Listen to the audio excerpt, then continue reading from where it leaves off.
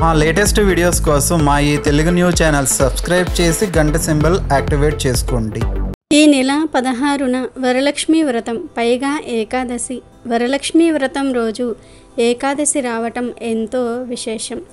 శ్రావణ మాసంలో ప్రతిరోజు ఒక పర్వదినమే. శ్రావణ మాసంలో వచ్చే రెండవ శుక్రవారం నాడు వరలక్ష్మి వ్రతం జరుపుకుంటాము. భక్తితో వేడుకుంటే వరాలను ఇచ్చే తల్లి వరలక్ష్మీదేవి. ఈ వ్రతాన్ని ఆచరించడానికి ఏ నిష్టలు నియమాలు మడులు అవసరం లేదు. నిశ్చలమైన భక్తి ఏకాగ్ర చిత్తం ఉంటే చాలు. వరలక్ష్మీ వ్రతం ఎంతో మంగళకరమైంది.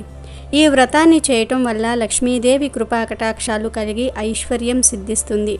సకల శుభాలు కలుగుతాయి. స్త్రీలు దీర్ఘకాలం సుమంగలిగా ఉండేందుకు ఈ వ్రతం ఆచరించటం తప్పనిసరి. లక్ష్మీదేవి సంపదలనిచ్చే తల్లి. సంపదలంటే కేవలం ధనం మాత్రమే కాదు.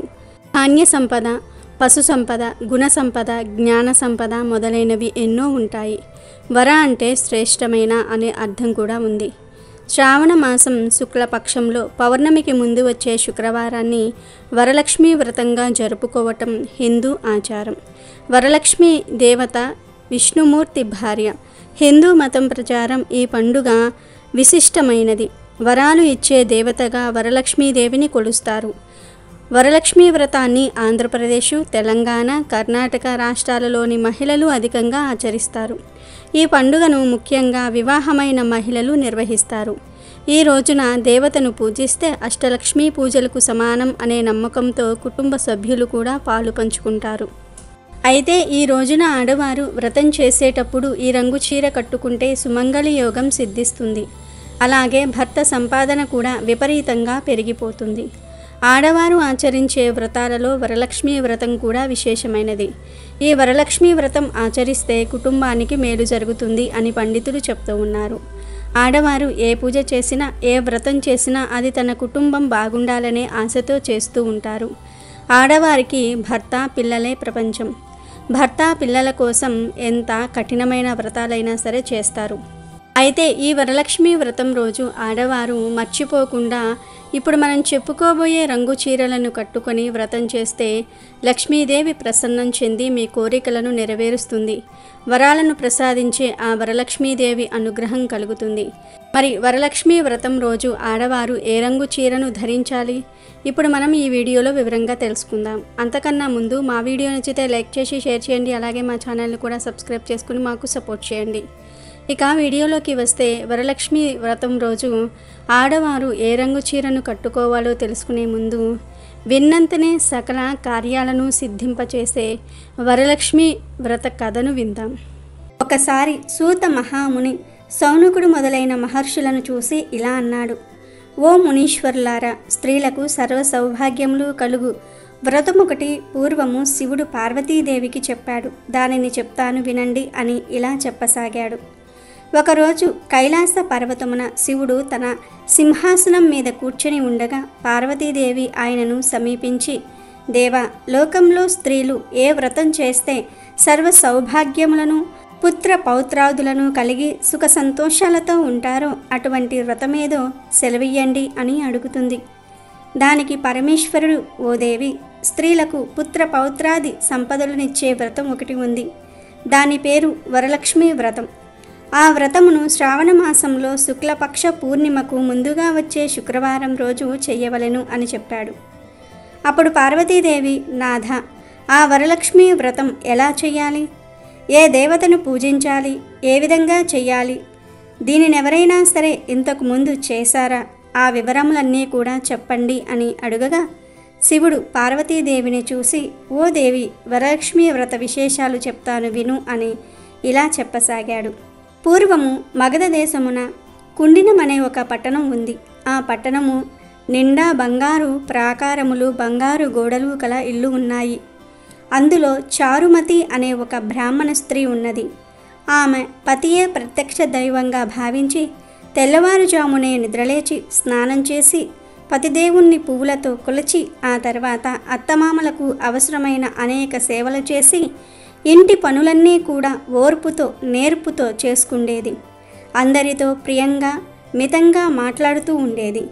గయ్యాలిగా కాకుండా ఇంత అనకువగా ఉన్న ఆ మహాపతివ్రతను చూసి శ్రీ మహాలక్ష్మికి ఆమె మీద అనుగ్రహం కలిగింది. ఒకరోజు మహాలక్ష్మి ఆ మహా ఇల్లాలికి కలలో ప్రత్యక్షమై ఓ చారుమతి నేను వరలక్ష్మీదేవిని. నీ నడవడిక చూసి నాకు నీ మీద అనుగ్రహం కలిగి నీకు ప్రత్యక్షమయ్యాను. శ్రావణ మాసంలో శుక్లపక్ష పూర్ణిమకు ముందుగా వచ్చే శుక్రవారం రోజు నువ్వు నన్ను పూజించితే నీకు కోరిన వరములిస్తాను అని చెప్పింది. అలా ప్రత్యక్షమైన అమ్మవారిని చూసి ఎంతో మురిసిపోయిన చారుమతీదేవి కలలోనే వరలక్ష్మీదేవికి ప్రత్యక్షమై నమస్కారములు చేసి అనేక విధములుగా స్తోత్రం చేసింది. ఓ జగజ్జనని నీ కటాక్షం కలిగితే జనులు ధన్యులవుతారు. విద్వాంసులవుతారు సకల సంపన్నులవుతారు. నేను పూర్వజన్మలలో చేసిన పుణ్యఫలం వల్ల నీ దర్శనము నాకు కలిగింది అని చారుమతి అనగా వరలక్ష్మీదేవి సంతోషము చెందింది. ఆ వెంటనే చారుమతికి మెలకువ వచ్చి నాలుగు వైపులా చూస్తే వరలక్ష్మీదేవి కనబడలేదు. అప్పుడు ఆమెకు అర్థమయ్యింది తాను కలగన్నదని. వెంటనే భర్తను అత్తమామలను లేపి చెప్పగానే వాళ్ళు కూడా చాలా సంతోషించారు. ఈ స్వప్నము చాలా ఉత్తమమైనది. దేవి ఆనతి ప్రకారం నువ్వు తప్పకుండా ఆ వ్రతం చెయ్యి అన్నారు. అరుమతి ఆనందంగా తన ఇరుగు పొరుగున ఉన్న స్త్రీలకు కూడా విషయం చెప్పింది. వాళ్ళు మరియు చారుమతి ఎంతో ఉత్కంఠతో శ్రావణ మాసం ఎప్పుడొస్తుందా అని ఎదురు చూడసాగారు.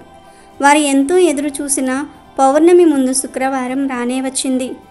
ఈ రోజే కదా వరలక్ష్మీదేవి చెప్పిన రోజని ఎంతో ఉత్సాహంతో చారుమతి మొదలగు స్త్రీలందరూ కూడా పూజకు ఉపక్రమించారు. ప్రాతకాలమే నిద్రలేచి తలారా స్నానం చేసి పట్టు బట్టలను కట్టుకున్నారు. చారుమతి ఇంట్లో అందరూ చేరారు. అక్కడ ఒక ప్రదేశంలో గోమయంతో అలికారు. ఒక మండపం ఏర్పరిచారు. దాని మీద ఒక ఆసనం వేశారు. ఆసనం పైన కొత్త బియ్యం పోసి మర్రి చిగుళ్ళు మామిడాకుల అలంకరణలతో కలశం ఏర్పరిచారు. అందులోకి వరలక్ష్మీదేవిని ఆవాహనం చేశారు. చారుమతి మొదలగు స్త్రీలంతా ఎంతో భక్తి శ్రద్ధలతో పూజ చేశారు. పద్మాసనే పద్మకరే సర్వలోకైక పూజితే నారాయణ ప్రియే దేవి సుప్రిత భవ సర్వదా అను ఈ శ్లోకంతో ధ్యాన వాహనాది షోడశోపచార పూజ చేశారు. తొమ్మిది సూత్రములు గల తోరణాన్ని కుడి చేతికి కట్టుకున్నారు. వరలక్ష్మీదేవికి అనేక రకములైన పిండి వంటలు చేసి నైవేద్యం పెట్టారు. దాని తర్వాత ప్రదక్షిణం చేస్తూ ఉండగా ఆ స్త్రీలందరికీ గల్లు గల్లుమని శబ్దం వినపడింది. వెంటనే తమ కాళ్ళను చూసుకుంటే గజ్జలు మొదలైన ఆభరణములు కనిపించాయి.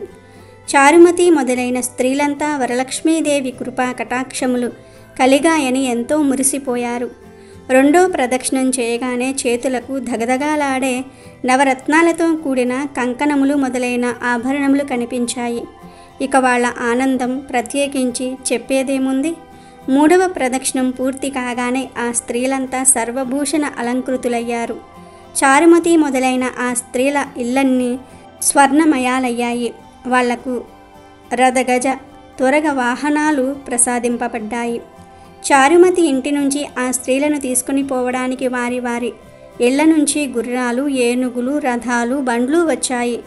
ఆ స్త్రీలు మరియు చారుమతి అందరూ కలిసి వారి చేత శాస్త్ర ప్రకారం పూజ చేయించిన బ్రాహ్మణోత్తమునికి గంధము పుష్పము అక్షింతలతో పూజించి పదకొండు కుడుములు వాయనమిచ్చి దక్షిణ తాంబూలాలను ఇచ్చి నమస్కరించుకున్నారు. బ్రాహ్మణుడు వారిని ఆశీర్వదించారు. వరలక్ష్మీదేవికి నైవేద్యంగా పెట్టిన పిండి వంటలను బంధుమిత్రులతో తిని తమ కోసం వచ్చిన గుర్రాలు ఏనుగులు మొదలైన వాహనాలతో వారి ఇళ్ళకు బయలుదేరారు. వారు త్రోవలో చారుమతి భాగ్యమును తమ భాగ్యమును ముచ్చడించుకుంటూ వెళ్ళారు. లక్ష్మీదేవి తనంతట తానే స్వప్నంలో వచ్చి ప్రత్యక్షమౌట మంటే మాటలా చారుమతి ఎంత అదృష్టవంతురాలు అనుకున్నారు. చారుమతికి ప్రత్యక్షమైన విధానం తన మట్టుకే దాచుకుని తాను ఒక్కతే పూజించకుండా తమ అందరికీ చెప్పి తమకు కూడా ఇంతటి సౌభాగ్యం కలగజేసిన చారుమతి ఎంతటి పుణ్యరాలు. అలాంటి ఆమె పరిచయం కలిగి ఉండిన తామెంత భాగ్యవంతులు అని ఎంతో మురిసిపోయారు. అప్పటి నుంచి చారుమతితో సహా వారందరూ క్రమం తప్పకుండా ప్రతి సంవత్సరము కూడా ఈ పూజ చేస్తూ పౌత్రాభివృద్ధి కలిగి ధన కనక వస్తు వాహనములు కలిగి సుఖ సంతోషాలతో ఉన్నారు. కావున పార్వతి ఈ ఉత్తమమైన వ్రతమును చేస్తే చారుమతిలాగా ఎదుటివారికి చెప్పి చేయిస్తే సర్వ సౌభాగ్యములు కలిగి శుభముగా ఉంటారు.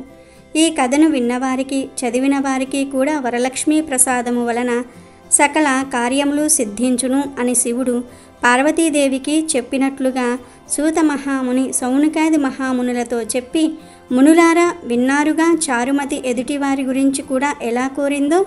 ఎదుటి మనిషికి మంచి కలగాలని కోరుకుంటే అమ్మవారు ఇంకా ప్రసన్నురాలే. మీరు కోరకుండానే మీకు మంచి చేస్తుంది అని ముగించాడు.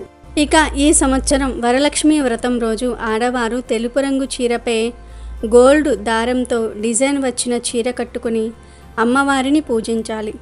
తెలుపు రంగు చీరకు గోల్డ్ రంగు అంచు వచ్చిన చీర అయినా పర్వాలేదు. తెలుపు రంగు అంటే లక్ష్మీదేవికి చాలా ఇష్టం. అందుకే లక్ష్మీదేవి పూజలలో తెలుపు రంగు పువ్వులను ఎక్కువగా వాడాలని పండితులు చెప్తూ ఉంటారు. తెలుపు రంగు లేదా బిస్కెట్ కలర్లో ఉన్న చీర అయినా సరే పర్వాలేదు. అయితే ఈ చీరలపై ఏదో ఒక డిజైన్ ఉండేలాగా చూసుకోండి. ఈ రంగు చీరలు ప్లెయిన్గా ఉంటే అస్సలు కట్టుకోకండి. వాటిపై డిజైన్ ఉంటేనే కట్టుకోండి. అంచు ఉంటేనే కట్టుకోండి. అలాగే వరలక్ష్మి వ్రతం రోజు పచ్చరంగు చీర కట్టుకుని పూజ చేసిన అమ్మవారి అనుగ్రహం కలుగుతుంది.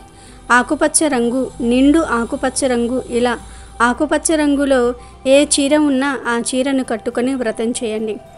ఒకవేళ ఈ రంగు చీరలు లేకపోతే కొని తెచ్చుకోండి. ఉంటే మాత్రం వీటిని కట్టుకొని చక్కగా వ్రతం ఆచరించి అమ్మవారి అనుగ్రహాన్ని పొందండి. కొన్ని చీరలకు వైట్ గ్రీన్ కలర్స్ ఉంటాయి. వైట్ చీరకు గ్రీన్ అంచు వచ్చి ఉంటుంది. అలాగే గ్రీన్ చీరపై వైట్ డిజైన్ ఉంటుంది. అలా ఉన్న చీరలైనా సరే కట్టుకుని పూజలు చేయండి. వైట్ లేదా గ్రీన్ ఈ రెండు రంగు చీరలలో ఏదో ఒక రంగు చీరను కట్టుకుని వరలక్ష్మి వ్రతాన్ని నిష్టగా ఆచరించండి. పెళ్ళైన ఆడవారే కాకుండా పెళ్ళిగాని ఆడవాళ్ళు పిల్లలు మగవారు అందరూ కూడా వరలక్ష్మి వ్రతం రోజు వైట్ లేదా గ్రీన్ కలర్ డ్రెస్సులను ధరించాలి. ఈ రంగులంటే లక్ష్మీదేవికి చాలా ఇష్టం.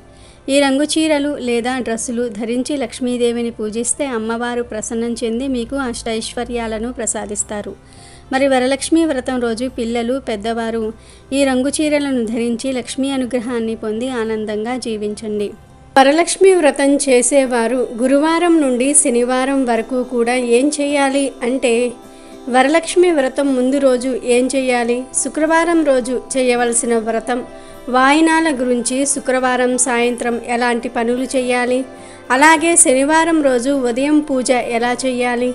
కలశాన్ని ఎలా కదపాలి?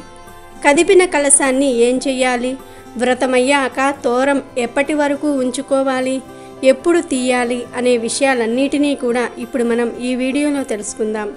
వరలక్ష్మి వ్రతానికి ముందు రోజు గురువారం మీరు తలస్నానం చేసుకోండి. అంటే షాంపూ పెట్టి తలస్నానం చేయాలి అనుకుంటే గురువారమే చేయండి శ్రావణ శుక్రవారం రోజు తలస్నానం చేయకూడదు. అలాగే వాయనం కోసం పసుపు కుంకుమలను వక్కలను ఏర్పాటు చేసి పక్కన పెట్టుకోండి. గురువారమే ఇలా చేస్తే శుక్రవారానికి హెల్ప్ అవుతుంది. అలాగే గాజులు జాకెట్ ముక్కలు కూడా ఈరోజే పక్కకు తీసి పెట్టుకోండి. ఈరోజే గుమ్మానికి కూడా తోరణాలు కూడా కట్టేసుకోండి. పూజా సామాన్లు ఒకే సెట్ ఉంటే ఈరోజే క్లీన్ చేసి పెట్టుకోండి. అలానే లక్ష్మీదేవి ఫోటో పీటలను బుధవారమే శుభ్రం చేసుకోండి. శుక్రవారం వాటిని మామూలుగా నీటితో కడిగి బొట్లు పెట్టుకోండి. ఇక అక్షింతలను కూడా గురువారం రోజు కలిపి పెట్టుకోండి. అలాగే వెండి పువ్వులు కాయిన్స్ను పాలతో శుభ్రం చేసుకుని ఉంచుకోండి. ముఖ్యమైన మూడు పదార్థాలను గురువారం రోజే తెచ్చి ఉంచుకోవాలి. అవేమిటంటే ఆవు నెయ్యి ఆవు పాలు బిల్వదరాలు అమ్మవారికి శ్రావణ శుక్రవారం రోజు ఆవు పాల పరమాన్నం సమర్పించి ఆవు నెయ్యి దీపారాధన చేసి ఒక బిల్వ దళాన్ని సమర్పించినా చాలు అమ్మవారి అనుగ్రహం కలుగుతుంది.